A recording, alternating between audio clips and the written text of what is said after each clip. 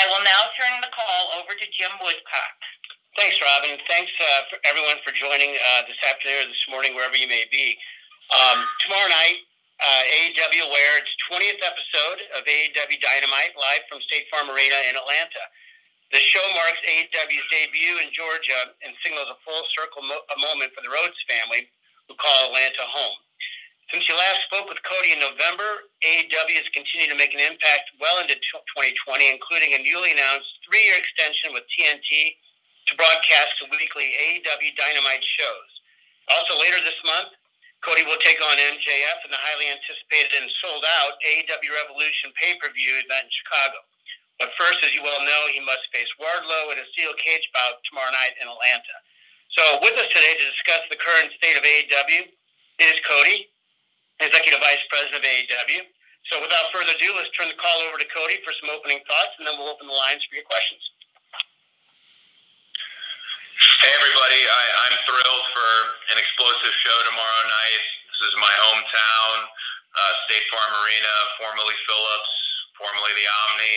Uh, I have a great deal of history here as a fan and my family as you know, performers and competitors. AEW's had a great start in 2020, including the three-year TNT extension.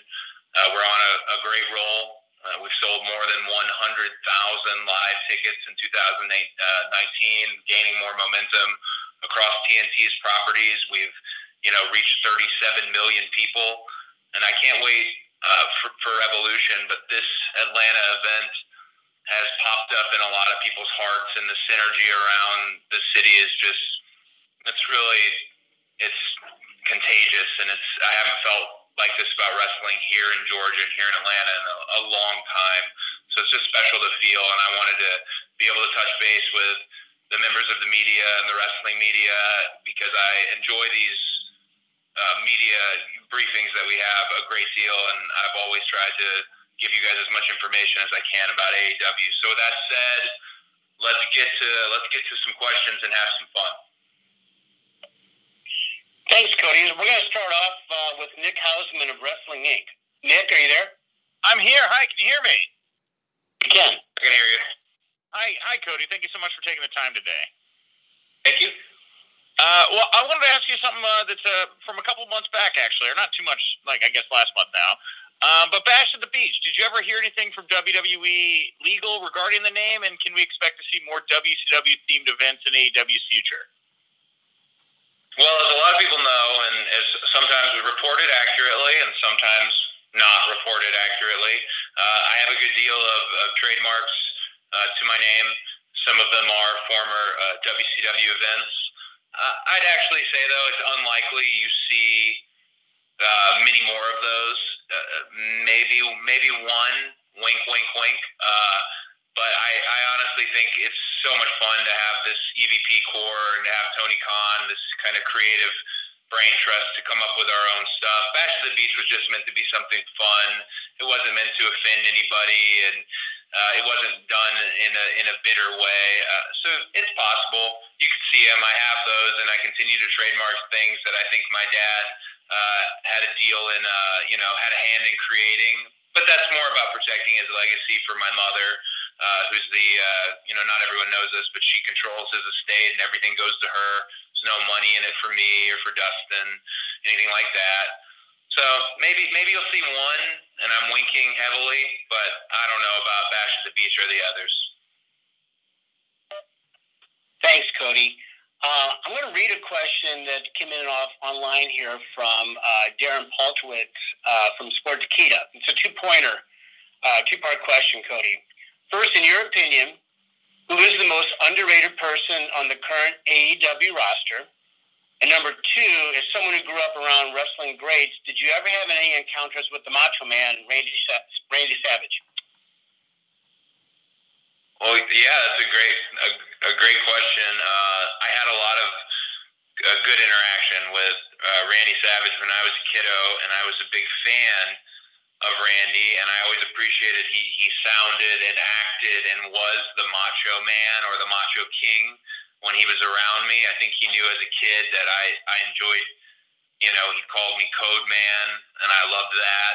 and even my mom for that WrestleMania that happened in Toronto. My mom stood in for Liz because Randy didn't want anyone to know Liz was going to be there the next night when my dad uh, had brought Liz as part of him and Sapphire's act for that uh, mixed tag with Sherri. So they had a good relationship, particularly because my dad was on the uh, he was on the more you know dominant side of that relationship early on, but not unlike Ric Flair as the Macho Man became a household name. Uh, the paradigm shifted, and to see how they worked with each other, uh, you know, from when Savage was a kid in the stands at Florida Championship Wrestling or Championship Wrestling from Florida to when you're at WrestleMania and it's Macho's house. It's unique. Bruce Pritchard has a lot of great stories, but if you know Bruce, half of it's made up, but it's all entertaining. Uh, but as far as underrated, not to get super long-winded here, underrated is a dirty word to me because I feel like sometimes it means underpushed or undervalued.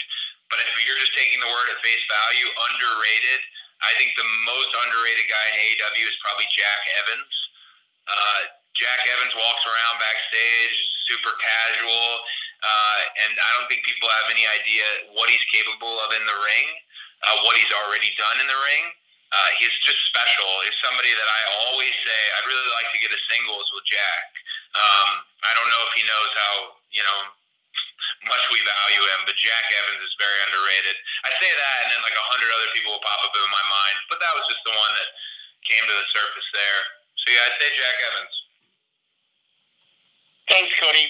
Next, we're going to flip it to Unmuted. from WrestleZone. Billy, you on the line? Yeah, I'm here. Can you hear me? Yes. Hey, Cody, how are you?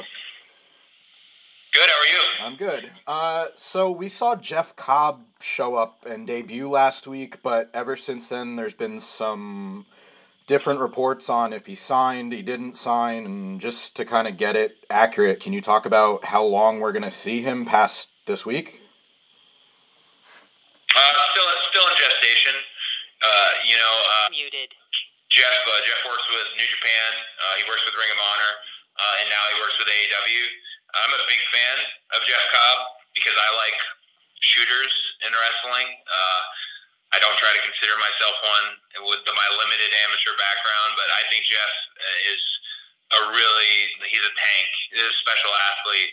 So I think that honestly, just to be transparent with you, it's in gestation. I would hope that he maybe pursues a longer thing with AEW, but I don't want it to impede on anything that he's doing in his soul, if that makes sense. If he wants to travel the globe and, and, and do all kinds of stuff, have at it. That's one of the great things about AEW. There's no blanket contracts.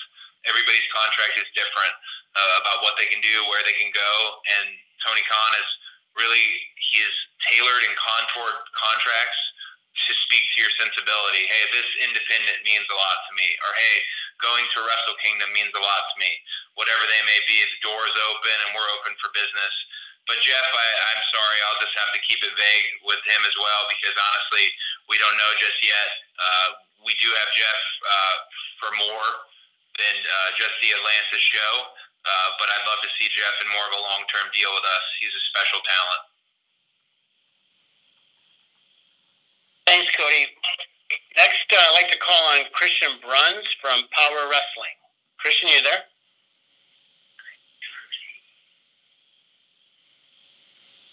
Christian? Yes, sorry, I'm here now. That's all. You're good. Perfect. Cody, how are you today? I'm very good, man. How are you? So, um, Dynamite has been on the air for like four months by now, and from a creative standpoint, how has the learning experience been for you guys since then? Is it still a collaboration between Tony and all the four EVPs, and um, how you put things together for TV, or has there been a change or evolution in how approach, uh, how you guys approach things uh, on a weekly matter? No, there's been there's been no change as far as the creative. You know, you have the four EVPs, the guys there in the ring, and then you have Tony Khan there. That is the creative structure. There's plenty of advisors and help. How could you not activate resources when you have somebody like Jim Ross standing ten feet away, or Taz, or or Tony Schiavone, or I mean Dean Malenko, Dustin. But we always like to keep our circle, no pun intended, our inner circle small because this was always Tony's idea to have the EVPs and him uh, be on the creative side of things. So there's been no change, and that's been great because we really are forming a team for the long term. I think the only things that perhaps have changed is, you know, every company is going to have growing pains and little lessons. And I know personally, I can't speak for the other guys. I've learned a lot just in the, the 20 dynamites. Uh, I have learned a lot about the workload that this is going to genuinely take uh, versus the workload perhaps we thought. I've learned a lot about uh, being on the other side of management. You know, is unique. You feel like a talent, you feel like a wrestler, but people talk to you differently, and the boys and girls are, treat you differently. And I want to be uh, a leader in the best way that I possibly can. I want to be honest with everybody. I want to try and communicate with everybody. I try every week to text everyone on the roster, or at least everyone that I have their number. Uh, I try to keep a very open communication uh, with all because I think that's important. But those are just lessons for me. Mainly, I I learn something new every day. I'm surrounded by really smart people in business who let me uh, sit in the room with them and uh, make decisions. So it's I'm glad it hasn't changed because it speaks to the mission we set out on in the first place. Thanks, Cody, and thanks, Christian. Next in the line, uh, coming up, is Connor Casey from Comic Book. Connor, are you there?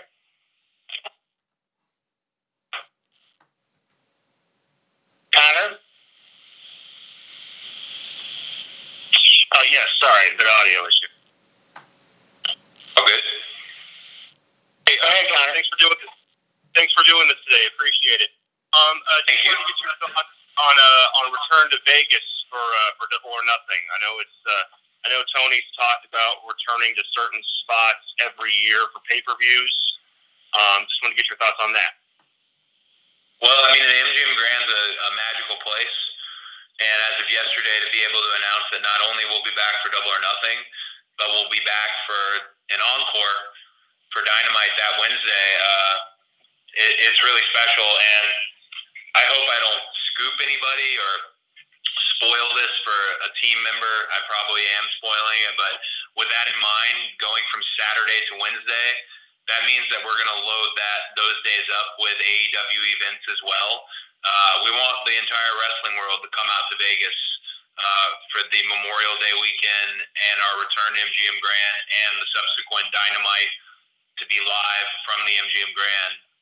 That building is for wrestling. It's had some significant wrestling moments in it, but it's had significant moments in sports in it. And those green seats, literally thinking about them, just give me goosebumps because it's a, it's it's a magical place. So I think Double or Nothing will probably find a, a home for quite some time uh, in the MGM Grand. There's a good relationship there, and I, I can see that being the home. Uh, we do want to keep Double or Nothing there in Vegas, uh, all out in the place where it all started in Schaumburg at Sears. Uh, again, I hope I'm not spoiling anybody or pissing anybody off in the office right now, but the other pay-per-views and other special events do have the potential to travel around. Those two just seem at home in those places, though. So I'm very excited about returning to Vegas for you know not just one but two nights. Thanks, Connor, and th- thanks, Cody. Next up is Bill Bodkin from Pop Break. Bill? Cody, thanks for taking the call, and I'm very excited that you guys are coming to my area at the Prudential Center, Newark, New Jersey. I look forward to seeing that show. I'm excited about that one, man. Oh, you have uh, that. There's a reason 10,000 tickets went out the, the door that quick, man. People were chomping at the bit for that one. Um, my question is, um, you guys got extended uh, by TNT for a number of years. Um, one thing a lot of people I saw a lot of reactions to with that is how does this impact the way AEW is going to go after free agents? Everyone that has a contract coming up, you know, you immediately see are they going to AEW? Are they going to AEW? How does um, like longevity and security on TNT change the game for you guys for uh, free agent signings? That's a really that's a really good question. I always like to think. Uh, I, I look back at All In, and which wasn't even an AEW show, and I remember thinking it all in that the doors the doors might be open for people to for our peers in wrestling to look at us and go, hey, I want to be part of what they're doing. And when those doors open, how long until we close close the doors, or do we ever close the doors? Now, after you know, I mentioned across you know TNT properties reaching 37 million people, having the youngest wrestling audience, an average of 640,000 in the P1, 18 to 49 each week.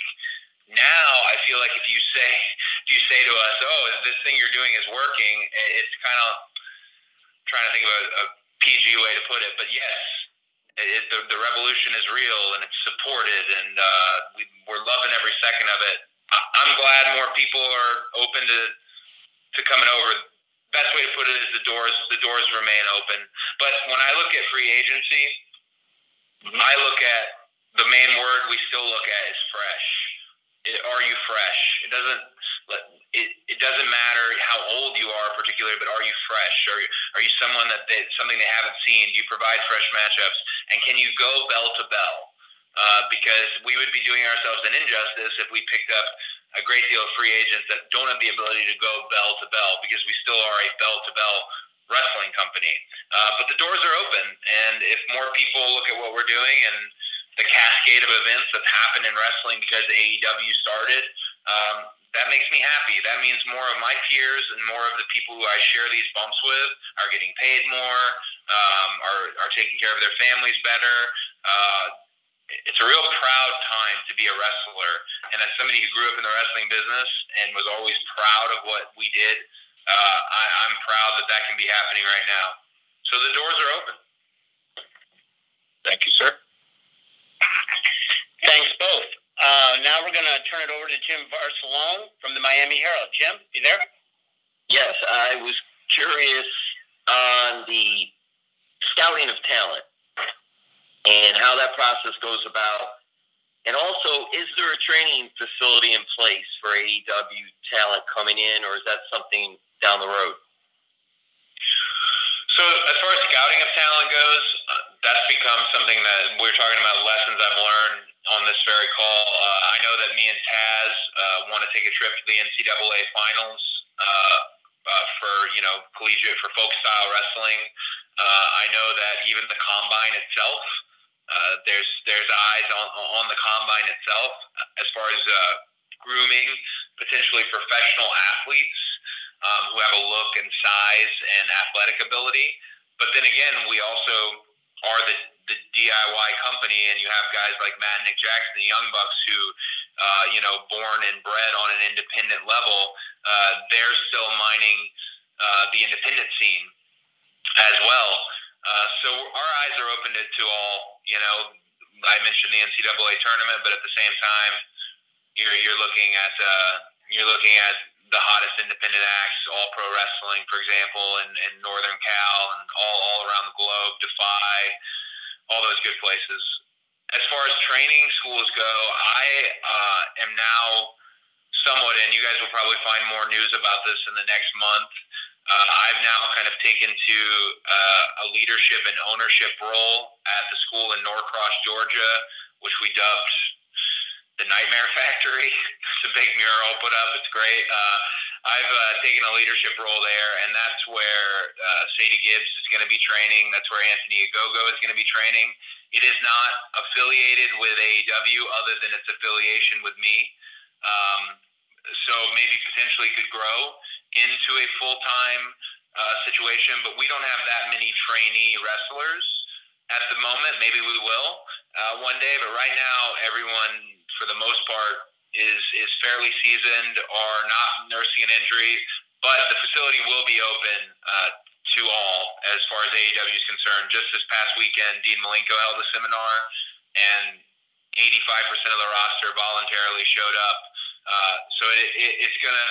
It seems like if we're willing things to into existence, which is kind of my whole mo, it seems like maybe potentially that spot will become uh, part of AEW in the future. But for now, it's my own thing and a place for people to get reps in and train, and uh, uh, people to nurse injuries and, uh, and rehab and come back.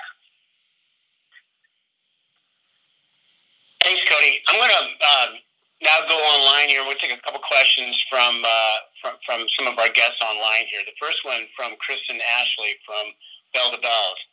Uh, she'd like to say congratulations to Nyla Rose on winning the women's title. It definitely signals the start of a new path for the women's division. Are there any other future plans for the women's division at this time? And the women's division is just it's it's growing. You know, I, I actually would say that you know when you when you hear kind of the the natural criticisms and you hear the good things about your show, you hear the things people don't like, and you got to keep your ears open. You can't be closed minded to it.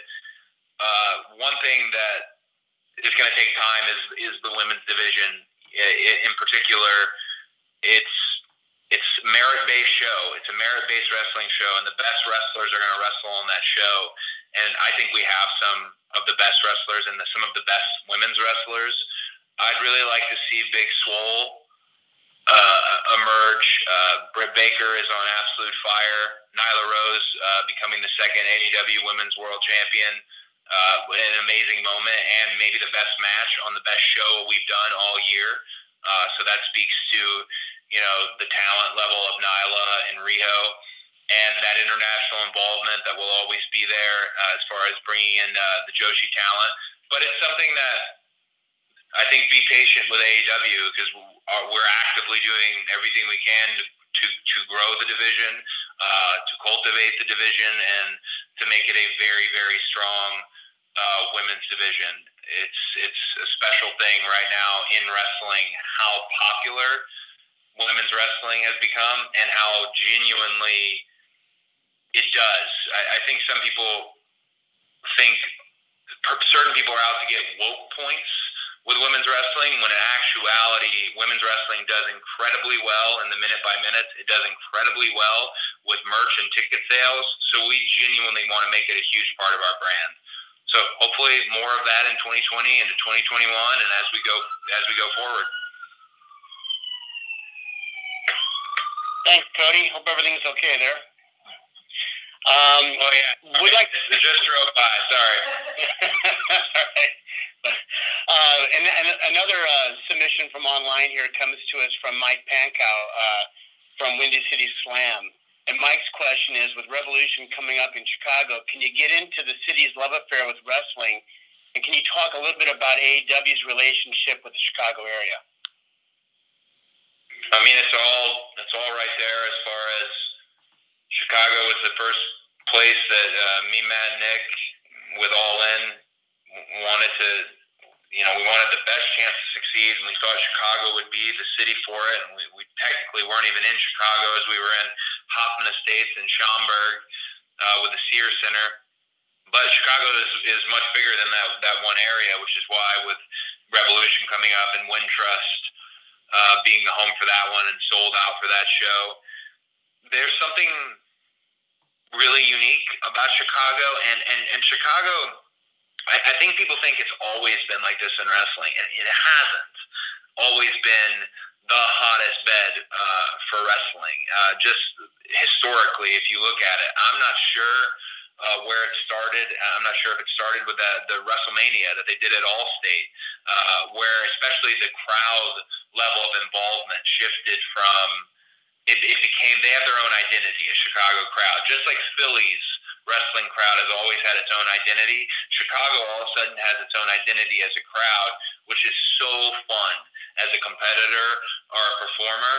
But you can never. I'm a. I'm one of the most loyal people on earth. If anything, that's you know, for for all my you know bad traits, my best trait is I'm in, in incredibly loyal to a fault, and uh, I'm I'm going to be loyal to Chicago throughout the entire future of AEW because that was the place we got things started. It really was. It's a spark for something that people still are arguing isn't real in terms of how popular wrestling is across the globe, uh, which means that Chicago is always going to have our, our flag in the sand, and I hope we can give Chicago the best possible shows. Thanks, Cody. um, next is uh, we're going to open the line here for Joe Anthony Myrick from Fansided. Joe Anthony? Hey there, Cody. How you doing? Good. How are you, my friend? I'm wonderful, wonderful. So last summer, Tony Khan said that he was committed to signing more men of color for the singles division. And seeing that this is 2020 now, is it still a priority for AEW signing more people of color for the men's single division? Of course, uh, of course.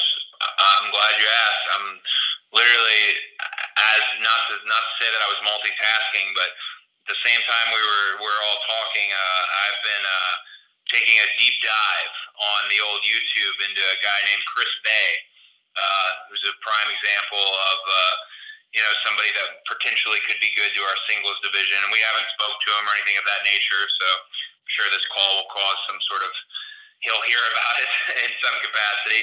But yeah, uh, Tony's commitment is the same as my commitment, Matt Nick's commitment, um, as far as 100%. It's a it's a demographic uh, that we we do we do well in, but we should be doing much better. And really, I'm dead serious. None of us are are pretending when we say we want the show to be congruent with what America really looks like in 2020 uh, and moving forward.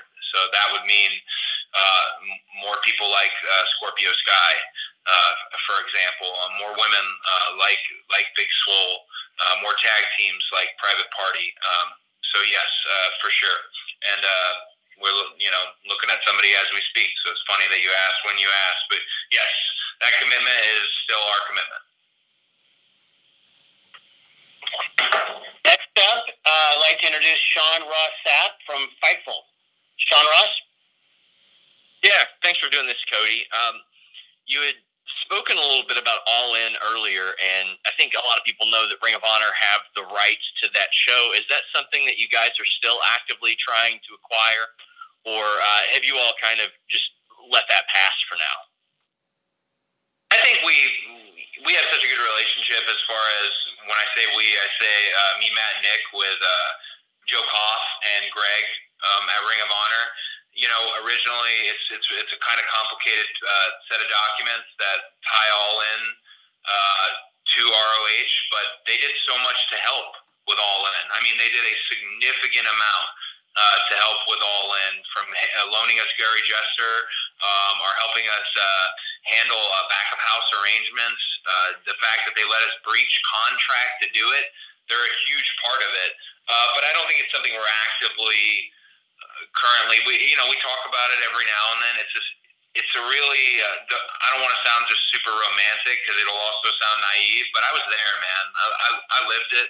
I felt that in my heart, that building, that moment.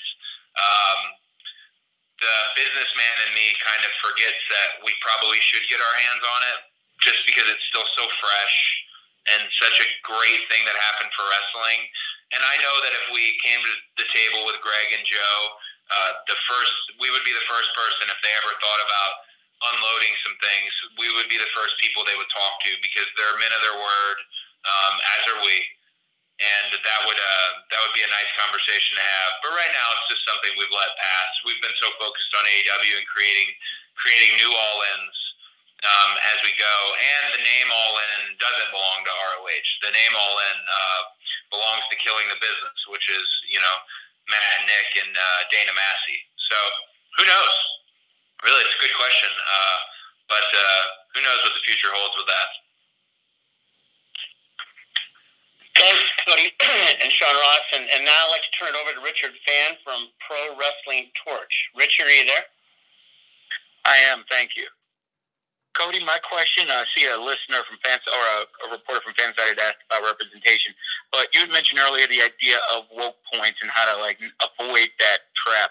How do you all as a company avoid being so diverse, trying to provide for so many people while also facing some of that criticism, fairly or unfairly, that you're doing this to be in the spotlight for doing it rather than doing it for its own sake? Well, I think you just have to lead with your content. Um, and your content is what speaks to who you are as a company. You know, who uh, who's out there front and center on, on Dynamite uh, versus making it a big marketing campaign. I mean, there's plenty of things that you can create a marketing campaign around that still do mean goodwill and that there's nothing nefarious in that. But I I just think you have to lead lead with your content. I think most viewers, you know, I mentioned we have the youngest wrestling audience in all the, you know, top 20 new cable series that we were lucky enough to fall into.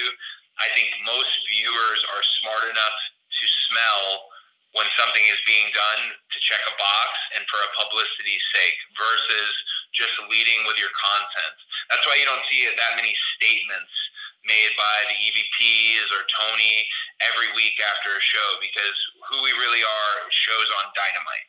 And uh, and that's how I think you avoid uh, making it all some PR shill versus no, this was the best call because these are the best wrestlers and this is the best show. Thanks, Cody. Uh, next up is Ryan Satin from Collider.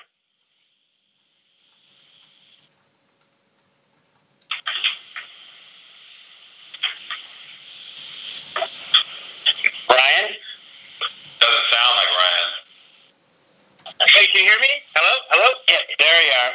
Ah, I figured it out. Hey, what's up, Cody? A hot mess, Ryan Satin, man. How are you? I'm doing all right. I'm not used to doing this on the computer. I'm still old school, usually, usually doing it on my phone. Uh, so uh, I know you talked a little bit about Nyla Rose here, but what did you think about Val Venis and some of the criticism that he was throwing your guys' way for putting the women's title on Nyla Rose? I think it's just disappointing. You know, if you're somebody that perhaps grew up liking Val Venis, you know, if, I don't know. He was kind of like the Disco Inferno of WWE. I don't know if anyone really knows who Val Venis is anymore, but it's disappointing because I don't think he actually means the terrible, awful things he's putting in writing. I think he's just trying to get a booking, and we're not booking Val Venis, and you're not going to be booked anywhere near us.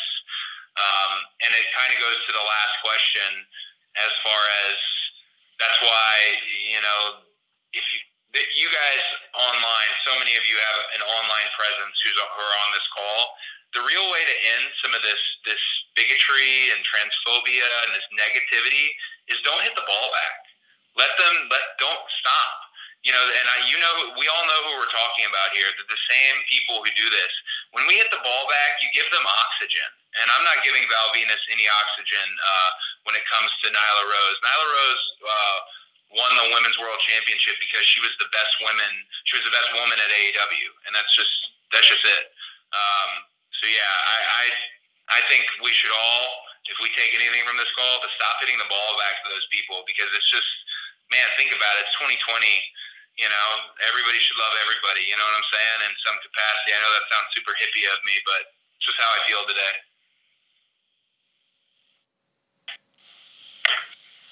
Cody. Next up is Zach McGibbon from TSN in Canada. Zach?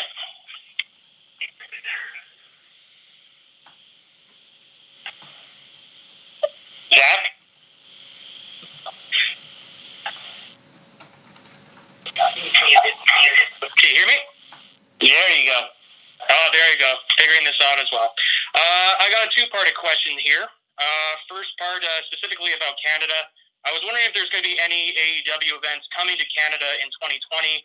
And second question, sticking with Canada, uh, how has uh, the television been in Canada for you guys? Are you impressed with the uh, ratings that are coming in uh, for Dan- Dynamite on TSN? TSN's TSN's been an incredible partner, um, and they really let us they let us they let us lead, and uh, they they plug in for us and and, brought, and stream us across. You know, um, our our border there to the north. Uh, I for sure would would hope we're coming to Canada. I mean, when I think Canada and wrestling, I've had some wonderful memories in the Bell Center there uh, in in Montreal. Uh, in wonderful memories. I know it's not Ricoh anymore, but Ricoh, and then the ACC, and then Northwestern. You know, uh, over there in the Vancouver and the Victoria, and even Abbotsford. Oh man, you can never go go wrong in Abbotsford. So. I would hope there's a strong presence in 2020. I know it's definitely something that we're, we're talking about. It's not something that is off the table. I would hope there's a strong presence for Canada in 2020 as far as an actual uh, live show.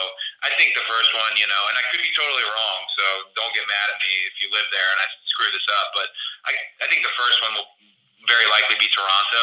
Uh, but I'm a big fan of the uh, Pacific Northwest as well uh, because I've done Abbotsford and then Vic- Victoria and Vancouver, and they're wonderful places. And I would just love our roster to be able to go and uh, uh, perform in that, you know, that part of the world. So I can see tw- I can see 2020 having uh, multiple Canada shows. I'm gonna as soon as I get to the building tonight, uh, get yelled at for saying that because we don't currently have them on the books, but we have discussed them. So, and our schedule as far as the live event buildings is not enti- entirely mapped out.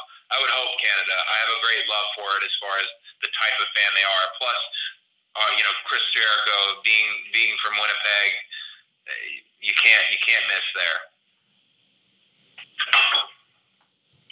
Thanks, Cody. Well, we are almost to our 45 minute time limit. With that, we have time for one more question. I'd like to take it from Stephanie Franchome from Steel Chair Magazine. Steph, are you there? Yes, I'm there. Uh, hi, Cody. How are you? Good. How are you? Uh, we are trying to deal with a storm in France, so pretty strange. What? So the wind is crazy, and uh, uh, yeah, but everything is okay. Uh, so now AEW is pretty much uh, 30 months pretty plumpy baby. Uh, it's pretty going pretty good.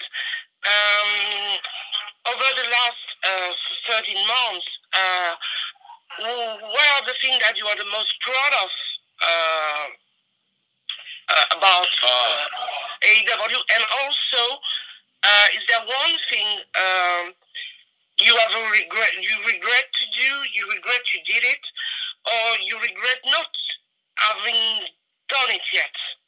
And I thank you very much.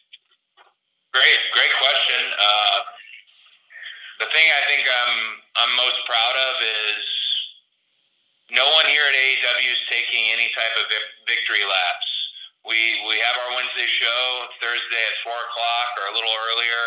Uh, you know, when the ratings come out and when the feedback comes in, or even the live feedback there in the building that night, uh, it's instantly right back to what do we do next week as far as you know what we have mapped out long form, but also how, how do we shake it up? It's just a really kind of uh, friendly and energetic and passionate uh, environment of people who have come to AEW, and um, the more people who speak out, who work for us, uh, from the the you know luminary, legendary figures to the younger roster, the more you'll hear that is about how everybody really is excited to get there Tuesday night, Wednesday, do the show, and nobody wants to leave. That that passion is you can't put a price on it. So I'm very proud that that exists within the company. I'm proud we we don't get ahead of ourselves. We're working very disciplined, and we want to make this right for every wrestling fan and create all new wrestling fans. Uh, as far as regrets, hmm, I don't. I don't think I have. I don't think I have a single. I don't think I have a single regret about this. And I, I'm one of those who does have regrets. You'll never hear me say no regrets. But in this case, uh, I don't have any regret regrets about uh, AEW. It's gone. It's gone so well, and people who've come to the events, they can feel that from me and uh, the other performers in the ring. So no regrets. I'm very proud of everything, and I'm very proud of where everything is going. Thank you. Thanks, Cody, and really thanks to everyone who joined us here on, on the call today. And, and um, we're unfortunately at the end of our time, but uh, on behalf of everybody, Cody certainly, but also everybody at AEW, want to thank you for your, for everything you've been doing on behalf of wrestling and certainly AEW over the over the past year plus. Uh, for your attention, your time, and your support. So, with that, we're gonna we're gonna close the call. We will be distributing an audio copy shortly, so be taking a, be on the lookout for that. Then we'll uh, see you tomorrow night on um, AEW Dynamite, and then look forward to seeing many of you in Chicago uh, in a week's time or so. So, thanks again, and appreciate your time.